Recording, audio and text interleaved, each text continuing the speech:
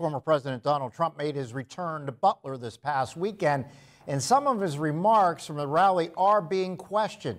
Our Philip Ward joins us now. Philip, you've been getting reaction. Good evening, Mike. We talked with local Republican leaders who are responding to the former president's rhetoric. Chairman Eddy, what do you make of former President Trump's comments this weekend? I watched part of the, uh, the rally, and I don't remember anything that was really insightful. I mean, most of the rally was about honoring the young man that was killed during his uh, earlier rally in Butler, and it was very emotional. I don't know how Trump is inciting people.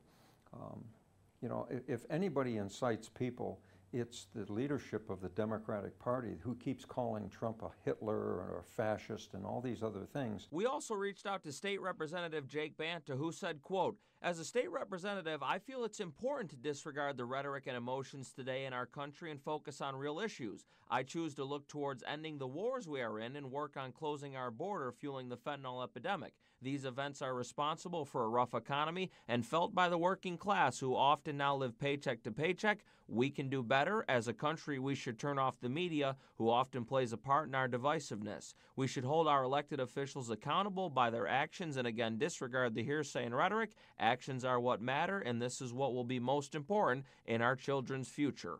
Forward.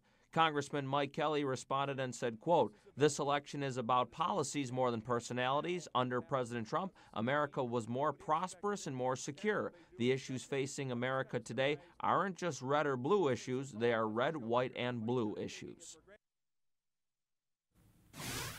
And Mike, new polling shows former President Trump and Vice President Harris virtually tied in key swing states. Live in the studio, Philip Ward, Erie News Now.